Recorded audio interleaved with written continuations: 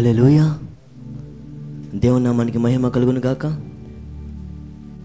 అందరికీ నా వందనాలండి దేవసేవకి నా వందనాలు. చిన్న ప్రార్థన చేసుకొని వాక్యంలోకి ప్రవేశిద్దాం. ప్రేమ స్వరూపి మా తండ్రి జీవాధిపత్యకు యహోవా సర్వశక్తి సర్వశక్తిమంతుడా సర్వలోకానికి అధిపత్యకు యహోవా మా తండ్రి. మా కొరకు వెలియైన గొప్ప దేవ మా కొరకు మేము పాపము చేసిన వ్యక్తి కొరకు దేవా నా తండ్రి. నా తండ్రి మాకు పడని శిక్షను మాకు బదులుగా నీవు అనుభవించి మా కొరకు మరణించిన గొప్ప తండ్రి నీకు నా హృదయపూర్వకమైన వందనాలయ్యా.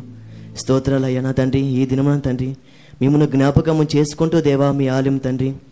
వాక్యస్ని మరణిస్తున్నా నీ బిడ్డ నాకు కోసం కృపను వాక్శక్తిని ప్రసన్నతను అభిషేకాన్ని మని వేడుకుంటూ నా జరిడగు ఏసు క్రీస్తు నామమున ప్రార్థించి వేడుకుంటున్నాను పరమ తండ్రి. ఆమెన్. హలో మన ప్రభువైన యేసుక్రీస్తు వారు సెలవులో ఏడు మాటలు పలికారండి. అందులో మూడో మాట గురించి చూద్దామండి. యోహాను సువార్త పంతొమ్మిది అధ్యాయము ఇరవై ఆరు ఇరవై ఏడు వచ్చినములు యేసు యేసు తన తల్లియు తన తల్లియు తాను ప్రేమించిన తను ప్రేమించిన శిష్యుడును శిష్యుడును దగ్గర నిలుచుండట చూచి దగ్గర నిలిచినట చూచి అమ్మ అమ్మ ఇదిగో ఇదిగో నీ కుమారుడు నీ కుమారుడు అని అని తన తల్లితో చెప్పాను. తన తల్లితో చెప్పాను. తరువాత తరువాత శిష్యుని చూచి శిష్యుని చూచి ఇదిగో ఇదిగో నీ తల్లి నీ తల్లి అని చెప్పాను. అని చెప్పాను. ఆ గడియ నుండి ఆ గడియ నుండి ఆ శిష్యుడు ఆ శిష్యుడు ఆమెను ఆమెను తన ఇంట చేర్చుకొనెను. తన ఇంటా చేర్చుకునేను. మన ప్రభైన యేసుక్రీస్తు వారు సర్వ సృష్టిని సృష్టించిన సృష్టికర్త. మానవులైన మన కొరకు మనం చేసిన పాపాల నిమిత్తమై ఆయన అనుభవించి ఆయన శిక్షణ ఘోరాతి ఘోర శిక్షణ అనుభవించి మన కొరకు మరణించుటకు ఈ లోకానికి దిగొచ్చిన గొప్ప దేవుడు మన ఏసయ్య. మన ఏసయ్య ఆ సిలువలో అంత ఘోరాన్ని అనుభవించి అంత శిక్షను అనుభవించి ఇంకా ఆ సిచ్యువేషన్లో అసలు కళ్ళు కూడా తెరలేని ఆ సిచ్యువేషన్లో కూడా తన తల్లి అయిన మరియమ్మ విషయంలో ఆయన ఒక గొప్ప బాధ్యతను ఆయన నెరవేర్చాడండి. ఎలా నెరవేర్చాడంటే అసలు ఆ టైంలో మన సిలువ అంటే సిలువ అనే ఒక మాట చెప్పడం కాదండి. అక్కడ ఆయన దానికంటే ముందుగా ఆ సిలువను మోసుకుంటూ కొండ మీదకి వచ్చాడు. ఇంకా ఒక్కటి తక్కువ ముప్పై తొమ్మిది కొరడా దెబ్బలు. ఒక్కటైనా మనం తిన తినగలమా? ఒక్క కొరడా దెబ్బ. అస్సలు అసలు మనం తట్టుకోలేము. ఆయన అన్ని దెబ్బలు భరించి ఇంకా గుద్దులు ఇంకా అవమానం అంతా సహించి కొండ మీదకి సిలువను తీసుకొని వెళ్ళి ఆ ఎండలో ఆ శిలువ పైన శిలువ వేస్తే ఆ సిచ్యువేషన్లో కూడా ఆయన ఆయన ఒక తల్లి గురించి ఆలోచించాడే అదే అసలు హ్యాండ్స్ ఆఫ్ అంటే అక్కడే ఆయన గొప్పతనం ఆయన ప్రేమ ఏంటో మనకు కనపరిచాడు. ఇంకా ఆయన తల్లి విషయంలో ఆయన చేసిన బాధ్యత ఎటువంటిదంటే తన ప్రియ శిష్యుడైన యోహాను గారికి తన తల్లిని తన తల్లి యొక్క బాధ్యతను ఆయన అప్పగించాడండి. ఇక్కడ మనం మరియమ్మను గమనించినైతే మరియమ్మ విషయంలో ఒక విషయం చూద్దామండి. ప్రభాని యేసుక్రీస్తు వారు పుట్టిన అంటే పుట్టినప్పుడు ఎనిమిదవ దినమందు ఆయనకి స్మృతి చేయించడానికి ఎరుషలేముకి వాళ్ళు వెళ్ళినప్పుడు అక్కడ మరియమ్మతో ఒక వ్యక్తి అతని పేరు ఏంటంటే సుమేయోను. అతను మరియమ్మతో ఇలా అంటాడు నీ హృదయములో ఒక ఖడ్గము దూసుకొని వెళ్తుంది అని. ఆ ప్రవచనము ఎప్పుడు ఆమెకి గుర్తొచ్చిందంటే ప్రభని యేసుక్రీస్తు వారు ఆ సిలువలో ఉన్నారు కదా ఆ వేలాడుతూ మాంసపు ముద్దలాగా ఆయన వేలాడుతుంటే ఒక అమ్మ ఒక కన్న కొడుకుని చూస్తూ ఏం చేయలేక అలానే బా బాధతో ఉంటూ ఇంకా ఆయన చెప్పిన ప్రవచనం అప్పుడు ఆయనకి గుర్తొచ్చింది. అంటే అప్పుడు ఆయన చెప్పాడు కదా నా అంటే నా హృదయంలో ఒక ఖడ్గం దూసుకుని వెళ్తుందని ఆ సిచ్యువేషన్ ఆ పరిస్థితి ఇదేనేమో అని ఆమె ఏం చేయలేక గుండె నిబ్బరం చేసుకొని బాధతో అలాగే ఆ కుమారుని చూస్తూ ఉందండి.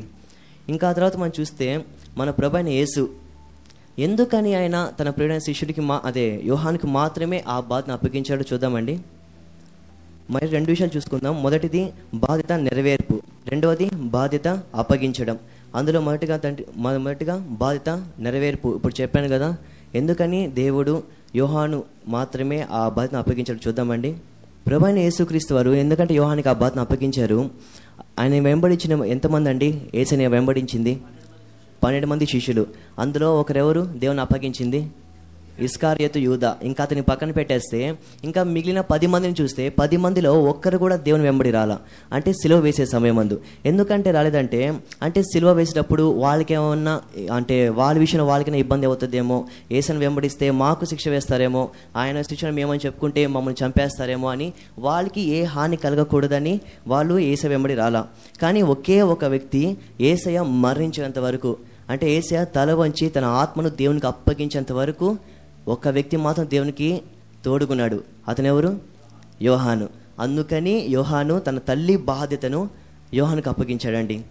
యేసుక్రీస్తు వారు ఆ సమయంలో కూడా ఆ రీతిగా గొప్పగా ఆలోచించాడు. ఎందుకంటే నాతో కడ వరకు తోడుకుంటే అని దేవుడు వెతుకుతున్నాడు. అలా వెతుకుతుంటే కళ్ళ ముందు శిష్యుడు కనిపించాడు. ఆ శిష్యుడే కదా మరియమ్మను తీసుకొచ్చాడు తీసుకొచ్చి మొత్తం చూసుకున్నాడు. ఇంకా లాస్ట్లో దేవుడు ఆ బాధ్యతని యోహాను గారికి అప్పగించాడు. ఇంకొక విషయం అండి. దేవుని ప్రేమ దేవుని ప్రేమ అంటే ఏంటి? మీకు తెలిసినంత వరకు దేవుని ప్రేమ. ఏమన్నా అంటే ఆ సిలువ చూపిస్తారు. అంటే ఇలా చెప్పా కదా ఒక మాట చెప్తే సిలువ అంటే అర్థం కాదు. దేవుడు ఆ భారాన్ని ఆ హింసని భరించి ఒక మాంస ముద్దలాగా అక్కడ వ్రేలాడుతూ మన కోసం మరణించాడండి. నేను గతంలో ఒకటి షేర్ చేసుకుంటానండి మీతో. ఒక బాధ్యత గురించి ఒక మీతో షేర్ చేసుకుంటాను. ఒక తల్లి ఆమె వృద్ధాప్రాయంలో ఉంది. ఆమెకు మించుమించు ఒక డెబ్బై అరవై ఐదు వేలు ఉంటాయి. ఆమెకు కళ్ళు కూడా సరిగా కనపడవు. ఆ సిచ్యువేషన్లో ఆమెకు ఒక కుమారుడు అండ్ ఇంకా వాళ్ళ భార్య.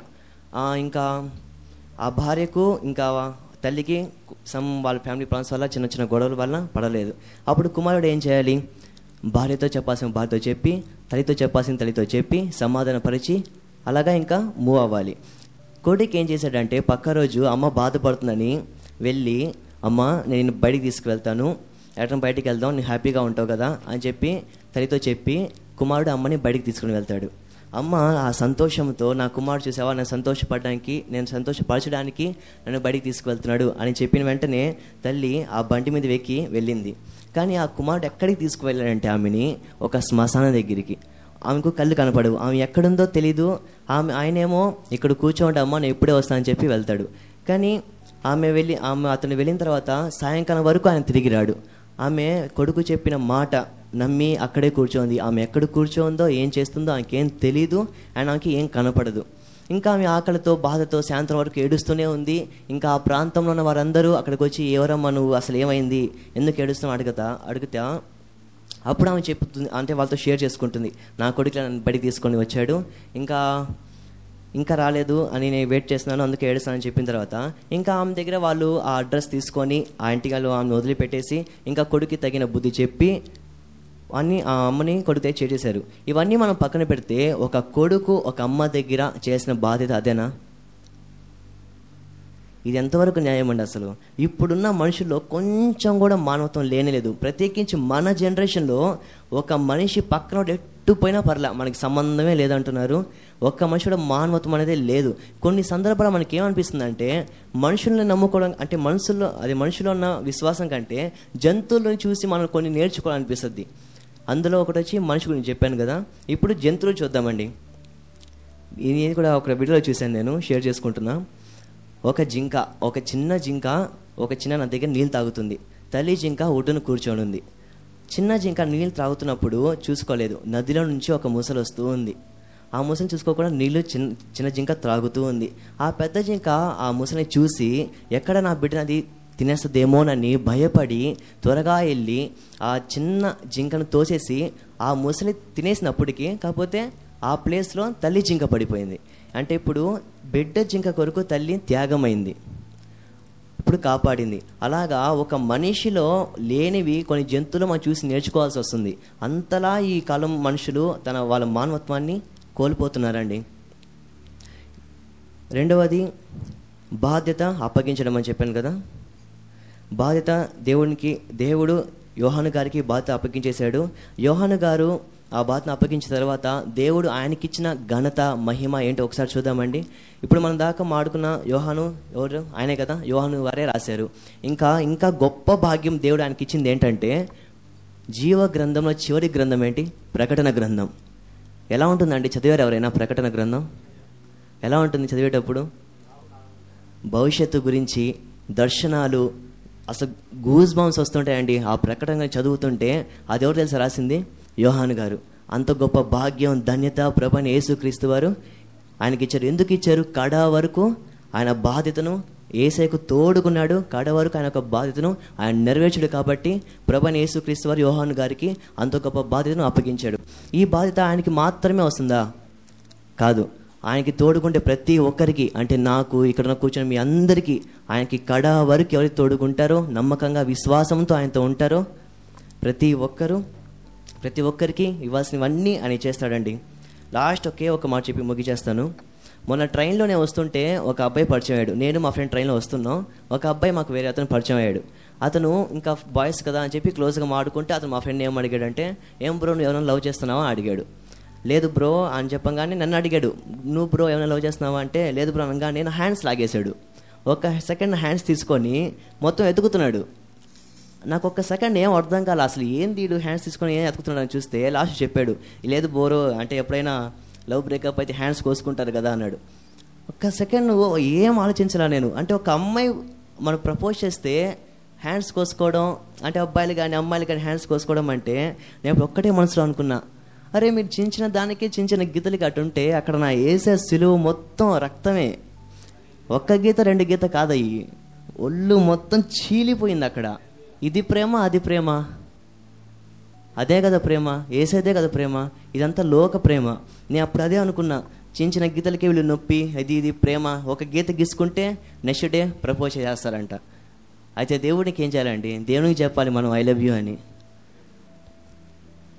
ఓకే అండి. నేను చెప్పాలనుకున్నది చెప్పాను. ఇంకా దేవునితో కలిసి నడవాలి. ఆయన బాధ్యతను మనకు ఆయన ఏం బాధ్యత అప్పగించినా మనం చేయాలి. అది చిన్నది కావచ్చు పెద్దది కావచ్చు మనుషులకి కనిపించేది కావచ్చు కనిపించేది కావచ్చు. ఇప్పుడు నేనైతే మా నాన్న దగ్గర నేనైతే ఒక్కటే నేర్చుకున్నా. ఏంటంటే మనం చేసే పని ముఖ్యంగా దేవుడు అప్పగించిన పని అది ఏదైనా సరే మనం చేసే పని మనుషులకు కనిపిస్తుందా? లేదా? అది కాదు ముఖ్యం. మనం చే మన దేవుని చెప్పిన పని మనం చేసామా మనకి క్రెడిట్ వస్తుందండి. కొంతమంది బయట సంఘాలు ఎట్లా ఉందంటే ఒక వ్యక్తి ఒక పని చేస్తే ఆ పని కన్నా పక్కన వాడికి ఇంకో పెద్ద పని ఇవ్వాలి ఏదైనా. అప్పుడే వాడికి సాటిస్ఫాక్షన్. లేదంటే లేదు. ఒకడికి ఒక ఒక పని ఇచ్చి ఒకడికి చిమ్మే పని ఇచ్చి ఒకడికి ఒక మెసేజ్ చెప్పే పనే. ఓకేనండి. ఒకరికి మెసేజ్ చెప్పే పని ఒకరికి సంఘాన్ని చిమ్మే పని. మెసేజ్ చెప్పే అతనేమో సంతోషంగా చెప్తాడు. చిమ్మే వ్యక్తి ఏమనుకుంటాడు? నాకు మాత్రం మెసేజ్ చెప్పే అర్హత ఇవ్వలేదు. సంఘాన్ని చెప్పే అర్హత చిమ్మే క్లీన్ చేసే అర్హత ఇచ్చారు అని బాధపడుతున్నారు. కానీ మనమైతే అలా ఉండకూడదు. నేను మా నాన్నకి ఒక్కటే నేర్చుకున్నా అండి. చెప్తున్నా కదా నేను సంఘానికి ముందుగానే వచ్చి ఇలా సంఘాన్ని క్లీన్ చేస్తూ అంటే చిమ్మే బాధ్యత కూడా నాకు పెద్ద పనే. ఎందుకంటే గొప్ప గొప్ప ధనవంతులకు కూడా ఆ బాధ్యత రావట్లా. ఒక్కరి కూడా ఆ పని లేదు. నేను సంఘాన్ని చిమ్ముతున్నా అంటే ఎంత సంతోషంగా ఉంటానంటే అప్పుడప్పుడు ఎవరు లేనప్పుడు డ్యాన్స్ కూడా వేస్తుంటా ఇక్కడ నేను చిమ్మేటప్పుడు. అంటే సంతోషం అంటే దేవుని పని చేస్తున్నా ఎవరికి లేదు ఈ భాగ్యం ఈ చిన్న వయసు నాకు వచ్చింది అని సంతోషపడ్డాను. అలా సంతోషకరంగా ఆయన చెప్పే బాధ్యతను నేను ముందుకు నడిపిస్తున్నా. ఇంకనూ నేను ముందుకు నడిపించాలి. నేను ఇప్పుడిప్పుడే స్టార్టింగ్లో ఉన్నాను. నా గురించి ప్రేయర్ చేయండి. ఇంకా ఆయన చెప్పిన బాధ్యత నెరవేర్చాలి. ఆయన చెప్పిన బాధ్యత కడ వరకు ఆయనకి నమ్మకంగా ఉండి ఆయన చెప్పిన పని నేను చేయాలండి. అంతే. ఈ చిన్న ఈ చిన్న వాక్యాన్ని దేవుడు దీవించిన గాక. ఆమెన్.